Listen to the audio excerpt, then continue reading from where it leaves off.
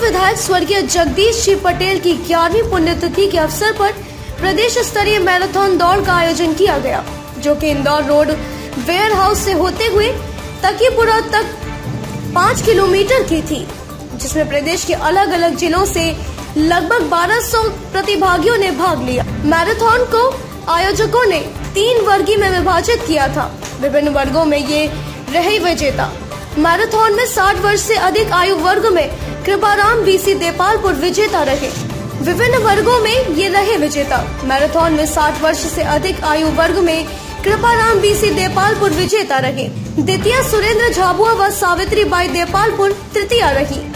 महिला वर्ग की विजेता रेशमा गोल्ड इंदौर रही।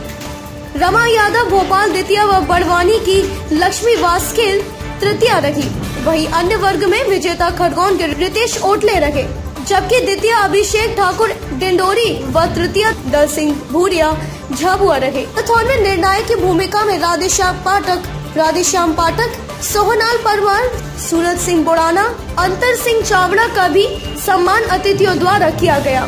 कार्यक्रम का संचालन अनिल सोलंकी ने किया। व आभार मुकेश सेन ने माना। देपालपुर से रिपोर्टर दीपक सेन की रिपोर्ट।